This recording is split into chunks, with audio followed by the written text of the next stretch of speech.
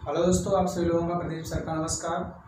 आपसे दोस्तों का हमारे YouTube channel Pradeep sir bland academy में स्वागत है। जो लोग अभी भी नए हैं, चैनल को सब्सक्राइब नहीं किए हैं, वो चैनल को सब्सक्राइब कर लें और बेल आइकन को ज़रूर दबा दें, ताकि हमारे हर वीडियो का नोटिफिकेशन आप सभी लोगों तक आसानी से पहुँच सके। जैसा कि दोस्तों, हम लोग लगातार मैथमेटिक्स और रीजनिंग पढ़ते चले आ रहे हैं टॉपिक वाइज चैप्टर वाइज और हर एक पॉइंट को। तो आज उसी बेस पे हम एक नए टॉपिक की चर्चा करने चल रहे हैं घन और घनाभ क्यूब एंड क्यूबाइड तो देखिए, दो टॉपिक आपके हैं, घन और घनाभ में तो पहले हम लोग चर्चा करेंगे घन पर क्यूब पर चर्चा करेंगे। उसके बाद घनाभ पर चर्चा करेंगे।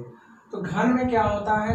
एक ही प्रकार का क्वेश्चन नहीं पूछता, कई तरीके क्वेश्चन पूछता है तो नए पुराने सारे क्वेश्चनों को मैं इसमें इंक्लूड करूँगा। जैसा कि आप जानते हैं कि घन में जो क्वेश्चन पूछे जाते हैं, बड़े घन को छोटे छोटे घनों में काटना, उसके बाद घन के सतहों पर रंग बताना कि दो सतह वाले रंगीन अणुओं की संख्या कितनी है, तीन सतह वाले रंगीन अणुओं की संख्या कितनी है? कम से कम दो या कम से कम एक एक सतह बिना रंगीन। तो इस तरीके से तमाम क्वेश्चन आपके बनते हैं। तो उन्हीं सभी टॉपिक्स पे हम चर्चा करेंगे। तो सबसे पहले आप जान लीजिए घन क्या होता है। तो घन के लिए अगर इसकी परिभाषा आप कहेंगे, पहले हम घन के बारे में चर्चा करना चल रहे हैं। तो अगर हम डिफिनीशन बताना चाहेंगे किसकी घन की अगर घन की डिफिनेशन बताएँगे तो कहेंगे ऐसी त्रिविमी आकृति। त्रिविमी आकृति का मतलब तीन बीमाएँ होनी चाहिए। तो ऐसी त्रिविमी आकृति जिसकी लंबाई, चौड़ाई और ऊंचाई तीनों बराबर या समान होती है, उसी को हम घन कहते हैं। जैसा कि अगर आप इसका चित्र बनाना चाहते हैं तो चित्र आप किस कई प्रकार से बना सकते हैं, जैसा कि हम यहाँ पर चित्र बना रहे हैं। इस तरीके से आप चित्र को बना सकते हैं। इसकी लंबाई, चौड़ाई, ऊंचाई सभी समान होती है। ये इस तरीके से हम क्या कर सकते हैं, चित्र को इंक्लूड कर सकते हैं। क्लियर है? तो अब इसमें आप देखेंगे कौन कौन लंबाई चौड़ाई है, जिसका मतलब यहाँ पर आप देख रहे हैं ये लंबाई है, ये भी चौड़ाई है, ये भी ऊंचाई है।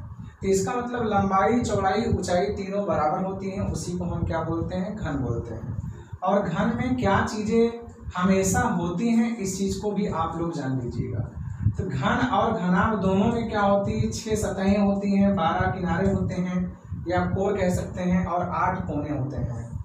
तो इसका मतलब घन में क्या होते हैं? सदैव।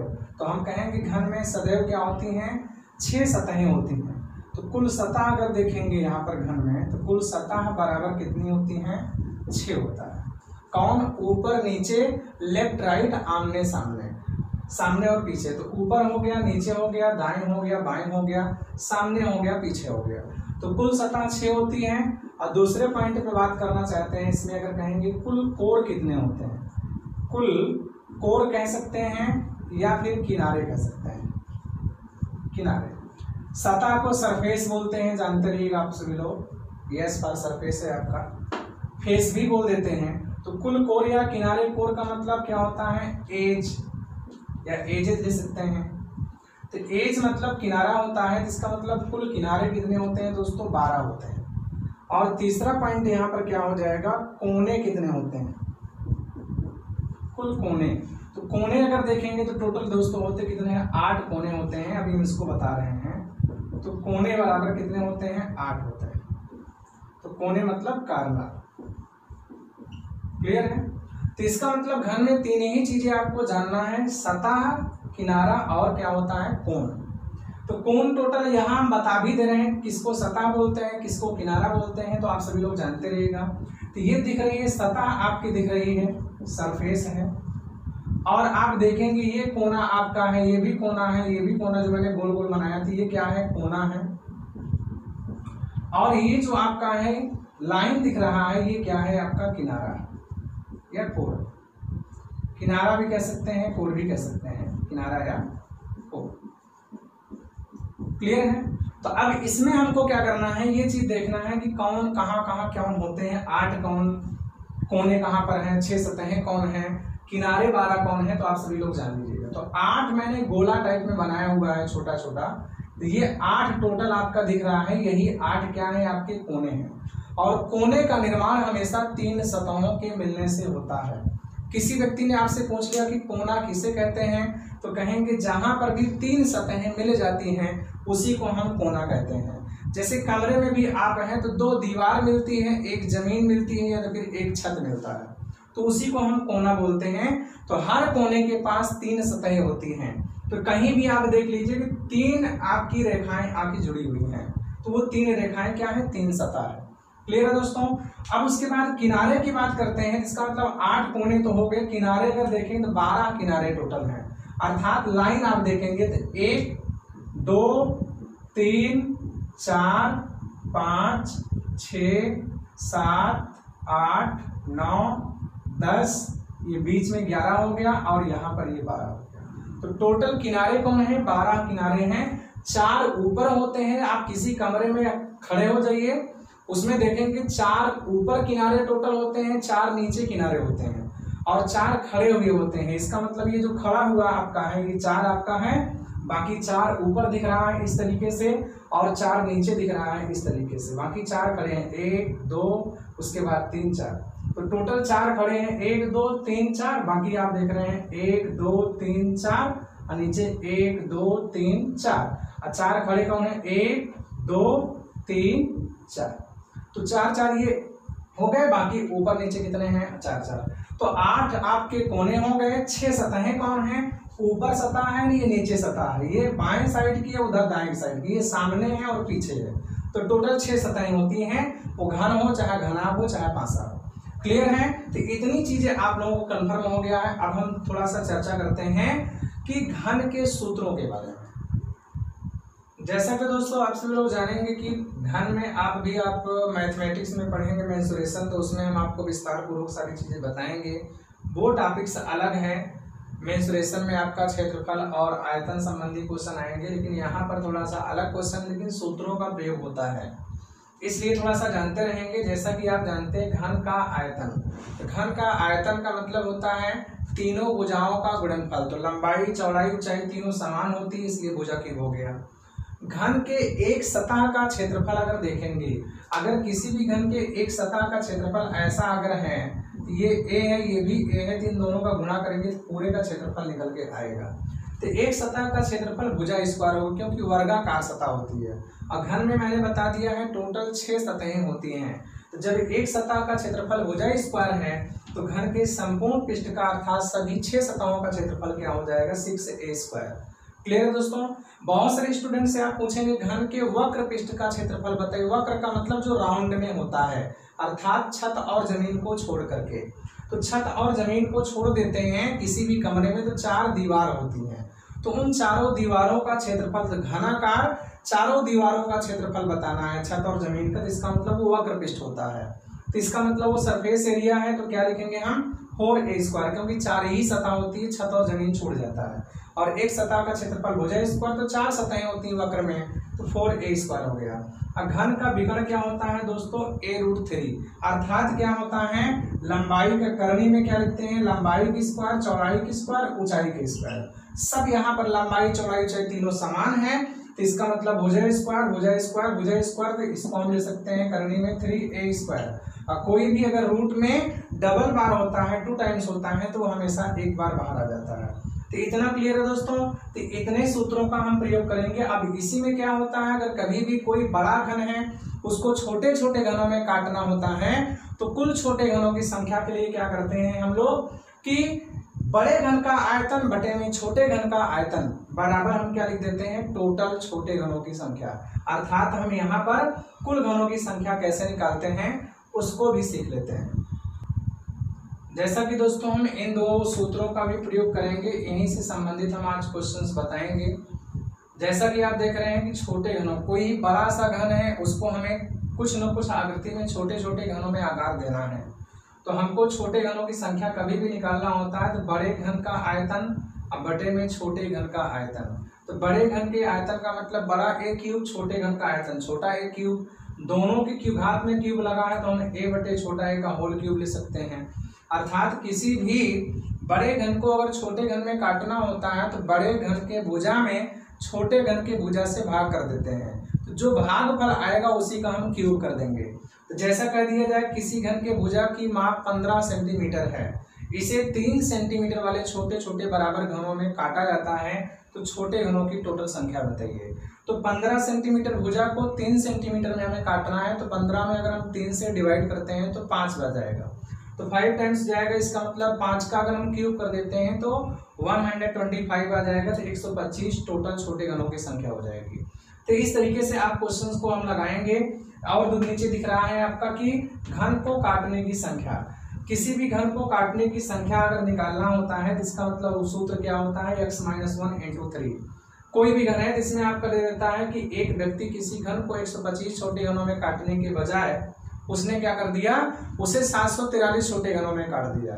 जिससे उस व्यक्ति को कुछ अतिरिक्त मजदूरी प्राप्त होती है तो बताइए व्यक्ति को वास्तविक मजदूरी कितनी मिलेगी? तो इन सब तरीके के क्वेश्चन आपके आएँगे, जिसमें हम टोटल तीन तरीके क्वेश्चन बताएँगे। तो सबसे पहला पॉइंट हम लोग पढ़ेंगे कि बड़े घन को छोटे छोटे घनों में काटना, और फिर दूसरे पॉइंट में पढ़ेंगे घन के सतहों पर रंग बताना। और घन के सतहों पर कुछ भी रंग या कोई भी चीज़ भरना होता है, छह सतहें होती है तो उससे संबंधित क्वेश्चन पूछता है। तो हमारा सबसे पहला पॉइंट क्या होगा? बड़े घन के बड़े घन को छोटे छोटे घनों में काटना। तो आइए हम उसको पढ़ते हैं। जैसा दोस्तों, यहाँ क्वेश्चन आपके पहले टाइप का छोटे घन बड़े घन को छोटे छोटे घनों में काटने में पहला टाइप है। कह रहा, किसी बड़े घन के भुजा की माप 18 सेंटीमीटर है। इसे तीन सेंटीमीटर वाले छोटे छोटे बराबर घनों में काटा जाता है। तो छोटे घनों की कुल संख्या बताइए। तो इसका मतलब हम total number of little cube तो एन बराबर हम कहेंगे बड़ा ए बटे छोटा ए का होल क्यूब है ही। आप मौखिक भी कर सकते हैं, अट्ठारह में अगर तीन से भाग करेंगे तो छह बार जाएगा तो छह का होल क्यूब करेंगे तो दो सौ सोलह घन हो जाएँगे। क्लियर है दोस्तों? इसी तरीके से अगर हम यहाँ पर कह देते हैं कि किसी बड़े घन के भुजा की माप इसी को चेंज कर देते हैं, मान लेते हैं किसी घन के बड़े घन के भुजा की माप कितना मान लेते हैं? यहाँ पर 20 सेंटीमीटर है। इसे हमने लिख दिया कितने? कि चार सेंटीमीटर वाले छोटे छोटे बराबर घनों में काटा जाता है। तो छोटे घनों की कुल संख्या बताइए। तो कुछ नहीं करना है आप लोगों को दोस्तों। 20 में अगर हम चार से भाग करेंगे तो कितनी बार जाएगा? पाँच बार जाएगा। और पाँच का अगर हम होल क्यूब करते हैं तो कितना आएगा? 125 छोटे घन आएँगे। क्लियर है दोस्तों? तो इसी प्रकार से आपका अगर दशमलव समलव में कभी दे देता है, मान लेते हैं यहाँ पर हमने लिख दिया सिंपली कि किसी बड़े घन के भुजा की माप बारह दशमलव पाँच सेंटीमीटर है। क्लियर है? बारह दशमलव पाँच सेंटीमीटर है, इसे दो दशमलव पाँच सेंटीमीटर वाले छोटे छोटे बराबर घनों में काटा जाता है। तो छोटे घनों की कुल संख्या बताइए। तो यहाँ भी आपको करना क्या था दोस्तों कि बारह दशमलव पाँच में हम दो दशमलव पाँच से भाग करेंगे तो पाँच ही बार जाएगा, पच्चीस पंचे दशमलव से नौ देंगे तब भी पाँच का क्यूब करेंगे तो एक सौ पच्चीस आएगा। क्लियर है? लेकिन यहाँ पर कभी कभी दे देता है कि किसी बड़े घन को छोटे छोटे बराबर घनों में काटा जाता है, जिनकी कुल संख्या दे देता है। ये छोटे घन के भुजा की माप दे देता है तो बड़े घन की भुजा की माप पूछ लेता है। तो ऐसे करके जब क्वेश्चन पूछता है, तब भी आपको फार्मूला यही रखना है, कोई अलग नहीं रखना है। तो उसमें के भी क्वेश्चन आइए देख लेते हैं।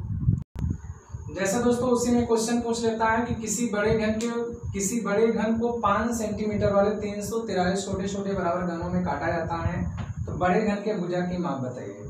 तो इसका मतलब क्या हो जाएगा दोस्तों? आप लोग कुछ करना नहीं, मैंने पहले बता दिया है कि बड़ा ए बटे छोटा ए का होल क्यूब बस इसी को लगाना है।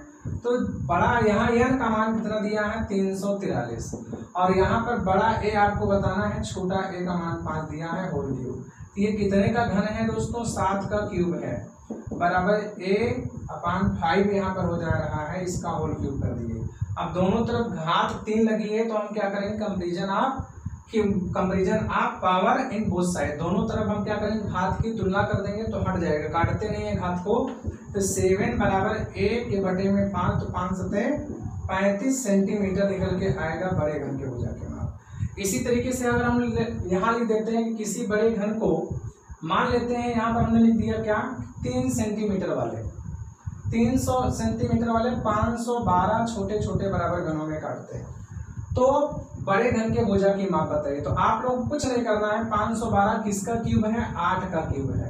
बराबर बड़ा ए और छोटा ए का मान कितना दिया हुआ है? तो तीन तीन अठे चौबीस सेंटीमीटर बराबर ए ज़रूरी नहीं कि आप इतना पूरा लंबा लगाइए।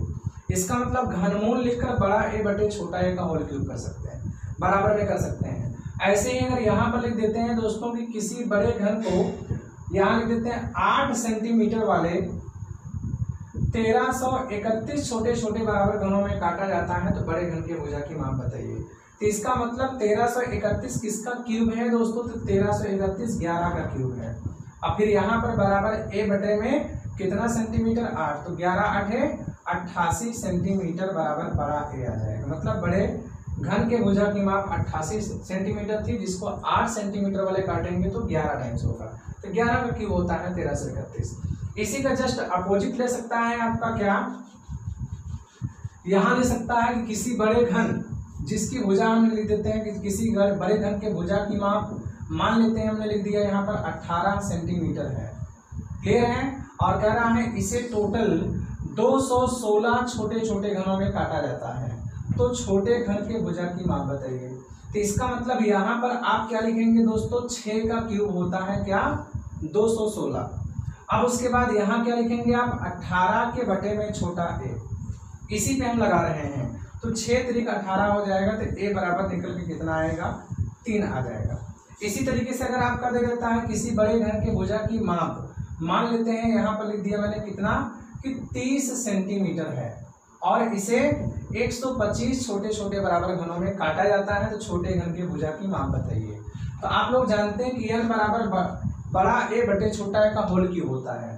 तो आप यहाँ 125 के बराबर में बड़ा ए बटे छोटा ए का होल क्यूब ले सकते हैं। तो 125 किसका क्यूब है दोस्तों? पाँच का क्यूब है तो ऐसा लिख लीजिए अब यहाँ पाँच का क्यूब हटा देंगे तो पाँच यहाँ पर बचेगा, बड़ा ए का मान कितना दिया हुआ है? तीस, और ए का मान यहाँ कितना आपको निकालना है? तो पाँच छक्के तीस कर देंगे तो ए बराबर कितना आ जाएगा? छह सेंटीमीटर तो ये तो एकदम से सिंपल टॉपिक से है। अब इसी में हम थोड़ा सा और कठिन क्वेश्चन देखते हैं तो आयो में देखते हैं। जैसे दोस्तों कि ये सेकेंड टाइप का क्वेश्चन है। बहुत सारे लोगों से हमने जो सूत्र बताया, उसी का यूज़ करना है। कभी भी छोटे घनों की कुल संख्या पूछता है तो आपको पता है कि हमको बड़ा ए अर्थात बड़े भुजा की माप और छोटे भुजा की माप। दोनों हमें पता हो जाएगा तो अपने आप निकालेंगे। तो ये क्वेश्चन थोड़ा सा देखने में कठिन लग रहा है, लेकिन एकदम से इजी है। जैसा कि लिखा हुआ, किसी बड़े घन के सभी सतहों का क्षेत्रफल 1350 सेंटीमीटर स्क्वायर है। इसे छोटे छोटे बराबर घनों में इस प्रकार काटा जाता है कि छोटे घन के एक सतह का क्षेत्रफल। तो छोटा जो घन है, उसमें भी छह सतहें होती हैं, लेकिन हर एक सतह का क्षेत्रफल 25 सेंटीमीटर स्क्वायर प्राप्त होता है। तो इसका मतलब यहाँ पर दिया हुआ है, छोटे घन के एक सतह का क्षेत्रफल कितना दिया है? पच्चीस सेंटीमीटर स्क्वायर और यहाँ पर दिया हुआ है, बड़े घन के सभी सतहों का क्षेत्रफल तेरह सौ पचास सेंटीमीटर स्क्वायर इन्हीं दोनों चीज़ों से हम क्या करेंगे? बड़ा ए और छोटा ए का मान निकालेंगे, तभी हमें छोटे घनों की कुल संख्या निकल प्राप्त होगी। तो हम कहेंगे सिक्स ए स्क्वायर का मान कितना दिया है दोस्तों? तेरह सौ पचास सेंटीमीटर स्क्वायर तो हम छह से अगर भाग कर देते हैं तो ए स्क्वायर बराबर छह दूना बारह, छह दूना बारह, छह पंचे तीस। तो ये 225 किसका वर्ग है दोस्तों? 15 का स्क्वायर है तो ए बराबर कितना आ गया? 15 सेंटीमीटर हमें बड़ा ए का मान प्राप्त हो गया।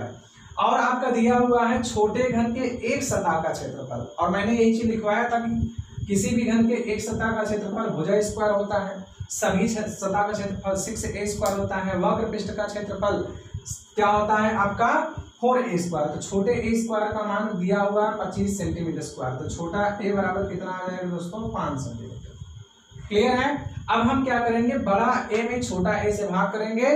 जो भागफल आएगा उसी का क्यूब कर देंगे। तो छोटे घनों की कुल संख्या कितना निकल के आएगी? पंद्रह बटे पाँच का होल क्यूब कर देंगे तो पाँच तीन पंद्रह तो तीन का क्यूब करेंगे, सत्ताईस छोटे घने क्लियर है दोस्तों? तो इस तरीके से क्वेश्चन अगर लगाएँगे, बस चेंजिंग करता है, जैसे हम एक क्वेश्चन इसी में और हम कर देते हैं तो सब कुछ तो वही रहेगा, सिर्फ़ संख्या को बदलेगा। जैसे हमने यहाँ लिख दिया, किसी बड़े घन के सभी स्तों का क्षेत्रफल यहाँ तेरह सौ पचास में लिखा हुआ था तो मान लेते हैं सैंतीस सौ पचास सेंटीमीटर स्क्वायर लिखिए। क्लियर है?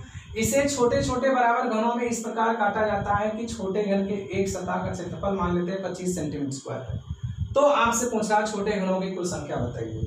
तो अब ये सिक्स ए स्क्वायर बराबर क्या हो जाएगा दोस्तों? सैंतीस सौ पचास।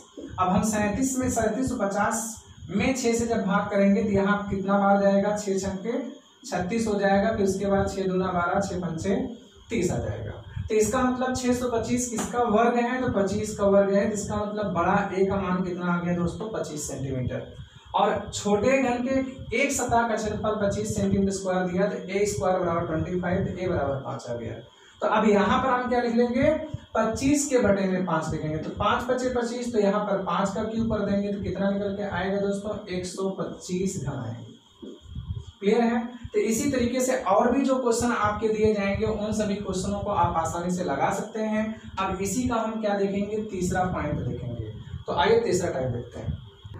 देखिए दोस्तों, तीसरे टाइप का क्वेश्चन थोड़ा सा और कठिन है। अगर इसको पढ़े नहीं रहते हैं स्टूडेंट क्वेश्चन आता है तो छोड़ देते हैं कि आपका थोड़ा सा बैंकिंग टॉपिक्स में बैंक बैंक पीओ आपका है एल आई सी एडीओ तो सभी एग्जामों में ज़्यादा ज़्यादातर आपका पूछा जाता है। बाकी जानते रहिए, क्योंकि प्रेजेंट टाइम में रीजनिंग जो आपका पूछा जा रहा है, वो बैंकिंग स्तर का ही थोड़ा सा है।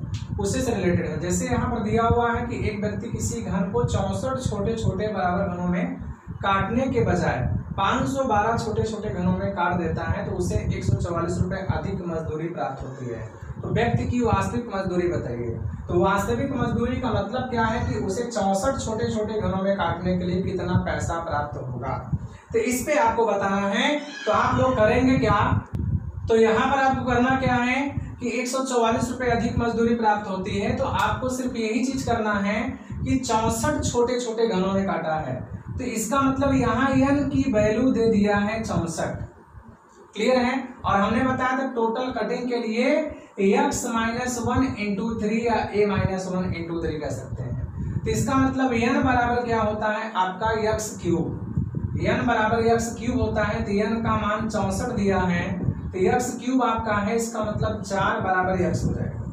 क्लियर है? और उसी तरीके से हम लोग देखेंगे दूसरी स्थिति में क्या दिया हुआ है? एन बराबर यक्स क्यूब के लिए यहाँ पाँच सौ बारह दे दिया है। और यहाँ पर यक्स क्यूब देखेंगे तो इसका मतलब यहाँ पर कितना आएगा? यक्स बराबर आठ। इतना क्लियर है? तो हमें दोनों स्थितियों में घनमूल ले लेना है। अब फिर उसके बाद उसी घनमूल में एक घटाकर तीन गुना कर देना है। तो इसका मतलब एक घटा करके जब हम तीन गुना कर देंगे तो कंडीशन क्या बनेगी आप लोग देखेंगे। यहाँ पर x बराबर चार आ रहा है, यहाँ पर x बराबर आठ आ रहा है। तो पहली स्थिति में कुल कटिंग अगर देखेंगे, कि पहली स्थिति में कुल कटिंग अगर कुल कटिंग की बात हम करते हैं तो थ्री एक्स माइनस वन मैंने बताया तो थ्री एक्स का मतलब चार में से एक गए तीन तीन त्रिका नौ बार।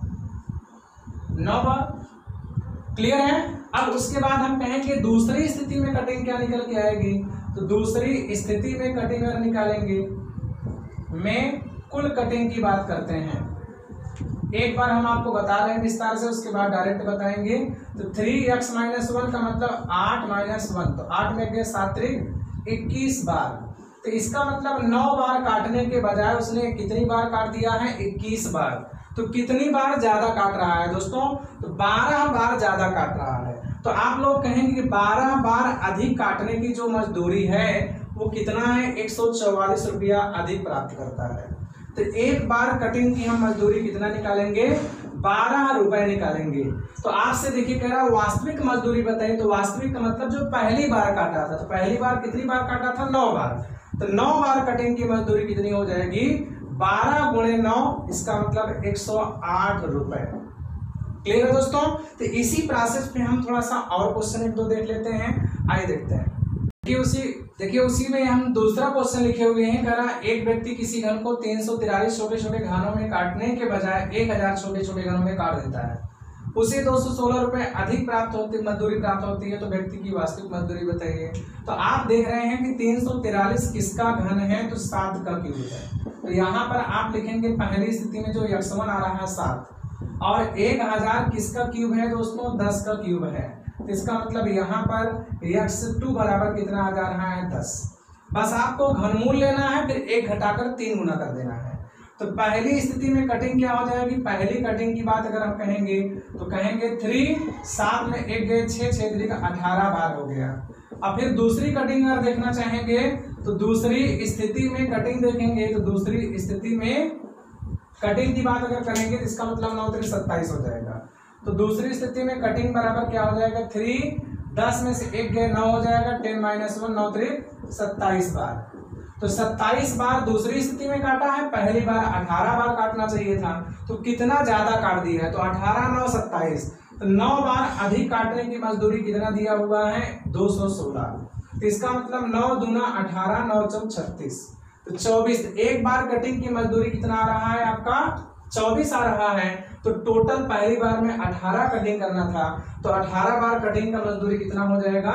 इसका मतलब अठारह गुणे चौबीस। तो अठारह चौक बहत्तर की दो, अठारह दिन छत्तीस, सात तिरालीस। चार सौ बीस रुपए आ जाएगा। तो इस क्वेश्चन को आप इतना आसानी से लगा सकते हैं। अगर आपको ज़्यादा कठिन लग रहा हो तो आप इसी चीज़ को और साइड में लगा सकते हैं, किस तरीके से लगाएँगे? आप कहेंगे तीन सौ तिरालीस किसका क्यूब है? सात का। सात का क्यूब है इसका मतलब टोटल कटिंग क्या होती है? Three x minus one. तो सात में एक गए, छह का अठारह बार पहली बार कटिंग किया है। क्लियर है? और दूसरा आपका क्यूब किसका है? दस का क्यूब है। तो इसका मतलब दूसरी स्थिति में एक्स का मान दस आएगा, दस में एक गए, नौ। नौ त्रि सत्ताईस बार। तो इसका मतलब क्या आ गया? इन दोनों का अंतर कितना आ रहा है? नौ बार। नौ बार ज़्यादा काटा है तो उसको दो सौ सोलह रुपए ज़्यादा मिल रहा है। तो एक बार काटने की मजदूरी हमारी निकल के आ कितनी गई? चौबीस रुपए। अब हमको वास्तविक मजदूरी बताना है इसी अठारह का चौबीस में गुणा करेंगे तो चार सौ बत्तीस रुपए आ जाएगा। तो क्लियर है दोस्तों? तो इसमें का क्वेश्चन आप लगा लेंगे। अब थोड़ा सा इसी से थोड़ा डिफरेंट क्वेश्चन है ये देख लेते हैं। देखिए दोस्तों, यहाँ एक क्वेश्चन उसी में दिया डिफरेंट करा, पच्चीस सेंटीमीटर वाले ठोस घन को पाँच सेंटीमीटर के छोटे छोटे घनों में प्राप्त करने के लिए कुल कितनी बार काटना होगा? तो टोटल नंबर ऑफ़ कटिंग बताना है तो यक्स बराबर अगर यहाँ पर बड़े घन के भुजा की माप दिया हो, और छोटे घन के भुजा की माप दिया है। तो हमें कुल घन यहाँ पर नहीं निकालना है, क्योंकि कुल घन निकालेंगे तो बात वही आएगी, क्या आप यहाँ पहले एन निकालेंगे तो एन बराबर बड़ा ए बटे छोटा ए का होल क्यूब करेंगे तो यहाँ पच्चीस के बटे में पाँच का होल क्यूब करेंगे, फिर पाँच से भाग करेंगे तो पाँच का क्यूब करेंगे। तो एक सौ पच्चीस आएगा। अब फिर जब एक सौ पच्चीस, क्योंकि एन बराबर आपका क्या होता है? एक्स क्यूब होता है। हमें एक्स की वैल्यू बताना है तो एक सौ पच्चीस, अब बराबर यहाँ एक्स क्यूब तो एक्स का मान कितना आ गया? फाइव और जब पाँच आ गया तो कुल कटिंग कितनी हो जाएगी यहाँ पर? कुल कटिंग बराबर काटे की संख्या थ्री एक्स माइनस वन होता है। तो तीन पाँच में से एक गए चार चार तीन बारह बार। लेकिन आपको इतना लंबा खींचने की ज़रूरत नहीं है। आप कहेंगे, अगर कभी भी बड़ा ए और छोटा ए पता है तो हमें यक्स बराबर क्या हो जाता है? बड़ा ए बटे छोटा ए बस।